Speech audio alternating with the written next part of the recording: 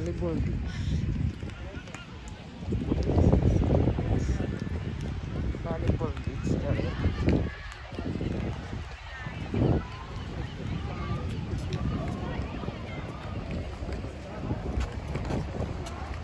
Nice out here. Everybody's busy. Sunny, sunwritten, and most especially playing volleyball. There you go, guys.